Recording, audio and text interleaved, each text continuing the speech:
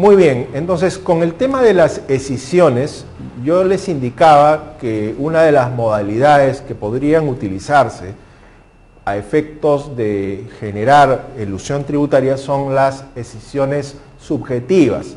En la escisión subjetiva lo que hay es una escisión del bloque patrimonial, pero con eh, cancelación de las acciones de alguno de los socios e incorporación a esos socios a exclusividad en, la, el, en el bloque escindido. Eh, con esto, ¿qué es lo que puede ocurrir? Para poner un ejemplo gráfico, si una compañía que tiene tres socios es propietaria de algunos activos, el activo A, B y C, ¿de acuerdo? Y resulta que quiere vender el activo A a un tercero el efecto tributario de esta venta supone básicamente el reconocimiento de una renta por la enajenación del activo y probablemente la aplicación del IGB. Si se trata de un inmueble, aparte el impuesto al cabala en cabeza del comprador. Pero esta operación de compraventa puede ser, de alguna manera, eh, reconducida a través de una decisión parcial subjetiva donde la tributación sea igual a cero. Y el planteamiento sería el siguiente. En lugar de firmar un contrato de compraventa, el interesado en adquirir el activo A lo que haría es aportar al capital de la sociedad propietaria del activo el monto del dinero que se pretende sea el pago del precio. Con esto, en el momento uno, este comprador, real comprador, va a aparecer como un socio adicional de la compañía, o sea, luego de realizar el aporte. En momento posterior, ya con este cuarto socio dentro de la estructura societaria, se genera una junta general de accionistas en la cual se decide la escisión de un bloque patrimonial, en este caso compuesto por el activo A, que era el activo que quería venderse inicialmente. Escindiendo subjetivamente también al socio nuevo, con lo cual, ¿qué tendríamos luego de la decisión? Que la empresa que escindió el bloque patrimonial se queda con el dinero, sin el inmueble y con tres socios. Y el bloque patrimonial escindido se queda obviamente con el inmueble y con un socio, que es el que originalmente quería adquirir el bien. ¿Y qué se generó con esto? En apariencia, tributación cero, porque las reorganizaciones societarias no están sujetas ni a IGB ni a impuesto a la renta. Ahora, debo decir que esto es un fraude a la ley, que de detectarse podría ser calificado a través de la norma 16 hoy vigente. Sin embargo, yo creo que este supuesto debería ser objeto de una regulación específica, así como se hizo en el caso del artículo 105-A de la ley del impuesto a la renta. Finalmente, Vamos a hablar de los contratos modernos y de las implicancias tributarias a los contratos modernos. Para hablar de la contratación moderna vamos a su vez a hablar de dos grandes temas, los contratos asociativos y los contratos mercantiles actuales. Comencemos en principio por los contratos asociativos. Los contratos asociativos son un género del cual hay dos especies de contratos, los contratos de colaboración empresarial y los contratos de asociación en participación. El concepto de contrato asociativo gira en torno a la idea de cooperación entre estructuras empresariales de dos o más entidades, a los efectos de realizar emprendimientos comunes. Ese es el concepto del contrato asociativo. El contrato de colaboración empresarial, que es una de las especies de contrato asociativo, permite la imbricación activa de los participantes en el contrato a través precisamente de labor conjunta y activa con, con, un objetivo que es obviamente el de un emprendimiento empresarial. Los contratos de colaboración empresarial son el contrato de joint venture y el contrato de consorcio. En el caso del contrato de joint venture, este no se encuentra tipificado, no tiene una regulación mercantil expresa. A diferencia del contrato de consorcio que sí está regulado y tratado, un contrato típico en el Perú, en la Ley General de Sociedades. ¿Cuál es la diferencia entre el joint venture y el consorcio? El caso del, joint venture, estamos hablando de un contrato en el cual las partes intervinientes, denominadas venturers, eh, realizan una labor conjunta de cara a una única prestación de servicios o, transferencia de bienes frente a los potenciales clientes del, joint venture. Eh, entonces hay una labor conjunta y común. El cliente de un joint venture no ve a, las, a las partes contratantes como independientes, ve a una sola entidad. En consecuencia, en el caso de un contrato de joint venture es totalmente posible encontrar contabilidades independientes. Esa es la razón por la cual la ley general de la ley del impuesto a la renta y la ley del IGB señalan que este tipo de contratos en principio deben llevar contabilidad independiente y por lo tanto son considerados como sujetos de ambos impuestos. El caso es distinto con el consorcio o con los consorcios. ¿Por qué? Porque en los consorcios, de acuerdo a la Ley General de Sociedades, cada una de las partes tiene autonomía frente a los terceros. Esto quiere decir que si bien hay una asociación, hay un consorcio entre, entre dos o más partes, la labor que realizan frente a terceros sí es identificada e independiente. No necesitan tener una estructura única de costos, por lo tanto, tampoco una contabilidad independiente. Esto, sin embargo, no es lo que la ley del impuesto a la renta y la ley de IGB dicen al respecto, donde se obliga inclusive a los consorcios, en principio, a tener contabilidad independiente, salvo, digamos, la excepción de pedir no llevarla de esa manera. Esos son los contratos de colaboración empresarial. Tenemos luego el contrato de asociación en participación, que es otra de las modalidades de contrato asociativo.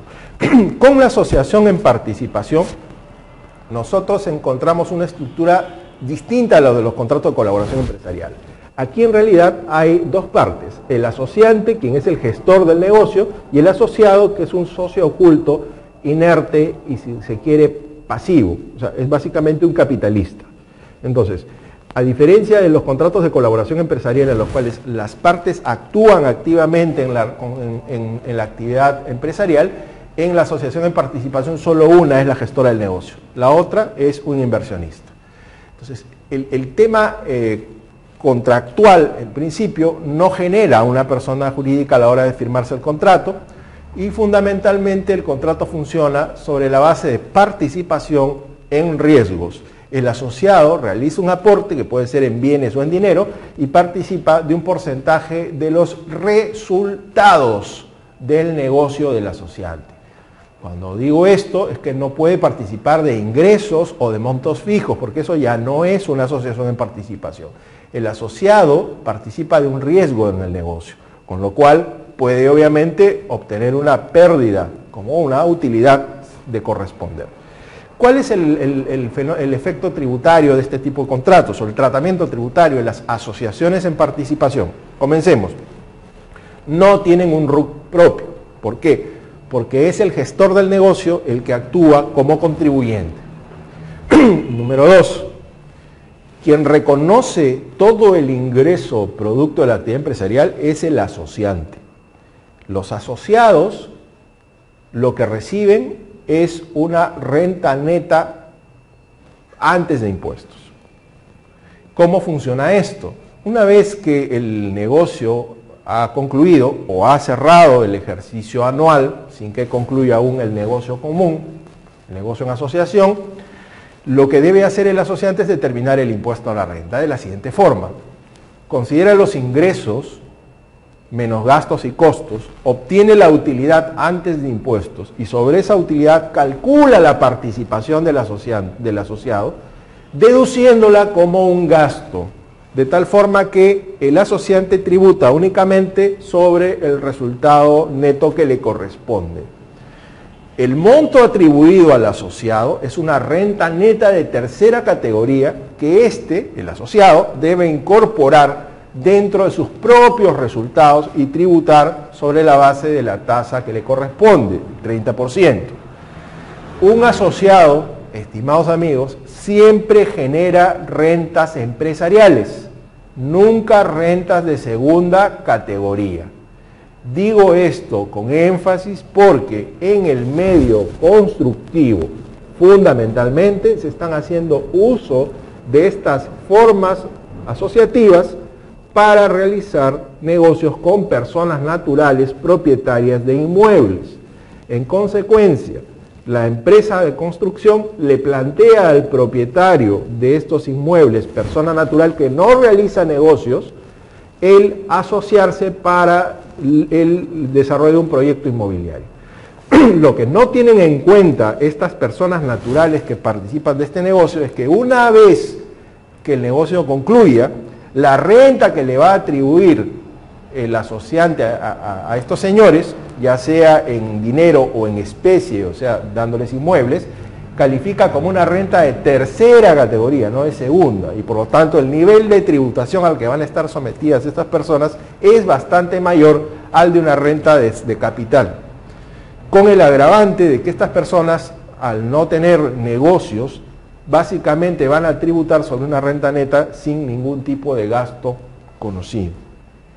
Esos son los contratos de asociación en participación y con esto cerramos el tema de la Ley General de Sociedades y los contratos asociativos. Vamos a ver ahora los contratos modernos más importantes. Dentro de los contratos modernos más importantes vamos a identificar al leasing como, como contrato fundamental. A ver, el leasing o arrendamiento financiero es un contrato que tiene no solo una tipificación en el Perú, sino un régimen jurídico y tributario bastante demarcado. El tratamiento eh, legal completo está contenido y desarrollado en el decreto legislativo 299 y su norma reglamentaria. En virtud del contrato de arrendamiento financiero, eh, una parte denominada el arrendador forma o celebra en buena cuenta un contrato con el cliente a los efectos de adquirir un activo, fundamentalmente maquinarias, equipos, puede ser también construcciones, de un tercero, con cargo a arrendárselo en el tiempo a cambio del pago de una merced conductiva o cuota de arrendamiento. Al final del contrato se establece obligatoriamente una opción de compra opción que puede ser ejercida o no por el arrendatario. Entonces, en el caso específico de los contratos de arrendamiento financiero, hoy en día tenemos un tratamiento contable que es semejante al tratamiento tributario. Para efectos eh, contables eh, del impuesto a la renta, el tratamiento eh, de los bienes en leasing o de los contratos de arrendamiento financiero en, particular es eh, semejante, es coincidente y discrepa del tratamiento jurídico. ¿A qué me refiero con esto? Para efectos jurídicos, mientras el contrato de leasing esté en ejecución, el propietario de los activos en leasing es el banco o empresa de arrendamiento financiero el arrendatario o empresa que, usa el bien en leasing no es pues el propietario y lo tiene únicamente en uso. Será propietario si es que al final del contrato ejerce la opción de compra y adquiere el bien. Ese es el tratamiento jurídico. El tratamiento contable y el del impuesto a la renta tributario es distinto. Se basan en la norma internacional de contabilidad 17, que indica que sin perjuicio de que el arrendatario no es propietario del, bien, del activo materia de leasing, como lo viene usando con vocación de, con vocación de adquirir la propiedad a través del ejercicio de la opción de compra, debe ya considerarlo como un activo fijo, pese a que el activo no sea suyo. Y en consecuencia, al estar dentro del activo de la compañía, este se deprecia tanto para efectos contables como para efectos tributarios. Para efectos fiscales o tributarios del impuesto a la renta, la depreciación sí tiene un doble régimen, un régimen general y un régimen especial. El régimen general busca que la depreciación sea, de acuerdo a la naturaleza del, del activo, aquella que está dispuesta para la depreciación de activos generales en la ley del impuesto a la renta. Si se trata de inmuebles, una depreciación de 5% en línea recta, y si se trata de bienes muebles, depreciaciones contabilizadas con tasas máximas de depreciación que van entre 10 y 15%. Bien, pero el régimen especial de depreciación permite llevar a resultados el valor del activo en el plazo del contrato, plazo que no puede ser inferior a dos años y a cinco años dependiendo de si estos activos son muebles o inmuebles. Ese es el tratamiento que permite una depreciación de tipo acelerado en la medida que se cumplan ciertas condiciones que la propia ley de leasing indica. Es básicamente giran en torno a que el activo sea utilizado en las actividades productivas de la compañía y no sea, en este caso, objeto de una modificación el plazo del contrato. Ese es el tratamiento del leasing, el tributario del leasing. en cuanto a los contratos modernos que tenemos hoy en día en aplicación. Todo gira en torno precisamente a la transferencia de propiedad. La mayoría de contratos modernos y con incidencia fiscal tienen que ser mirados desde la perspectiva de lo que las prestaciones del contrato suponen. El contrato típico, em, el contrato digamos, más conocido y con efectos jurídicos más relevantes para efectos tributarios es el de la compraventa. Pero hoy en día ese contrato ha evolucionado en varias formas distintas, de las cuales voy a hablar en estos momentos. Hoy en día tenemos, por ejemplo, contratos bajo modalidad swap, que se utilizan fundamentalmente en exportaciones, los contratos de exportación bajo modalidad swap. ¿En qué consisten los, contratos de exportación bajo modalidad swap? Son contratos en los cuales eh, las, partes em, de alguna manera acomodan intereses. Si un exportador de cierto producto que está ubicado en Perú necesita colocar ese producto en el exterior, debería firmar en principio un contrato de compraventa. Y una vez que está firmado el contrato de compraventa y acordado cosa y precio, debería exportar la mercadería utilizando precisamente el canal aduanero correspondiente. Pero para realizar esta exportación hay que pagar costos como por ejemplo el del flete y el de seguro. Al revés, un propietario de activos en el exterior que necesite ingresar estos activos al Perú, insumos normalmente, no activos, sino insumos, para eh, transformación a través de maquila y reexportación posterior, esto es muy usual en el tema de textiles o en joyería, necesita obviamente importar y reexportar el producto que está ingresando, con lo cual hay costos adicionales. ¿En qué consiste el swap? Es una coordinación de intereses. Si el que quiere exportar tiene en esencia el mismo bien que el sujeto que quiere importar tiene, el swap busca ponerse de acuerdo ambas partes a los efectos de permutarse en el mismo instante los bienes que son de igual cantidad y calidad, con lo cual la permuta genera un intercambio de propiedades instantáneo. Si ustedes se dan cuenta, en un swap entonces, un bien de propiedad de un empresario peruano, luego del swap, aparece instantáneamente en el exterior sin haberse realizado la salida en físico del producto a través de las aduanas. Esta modalidad que realmente busca evitar costos de traslado no genera en los hechos un ahorro tributario. Y la explicación es la siguiente, las exportaciones siempre en el Perú están exentas de impuestos, están sujetas a tasa cero, con lo cual si el bien no sale, no físicamente, sino que se hace producto precisamente de una permuta jurídica, eso no significa que se estén dejando de pagar tributos.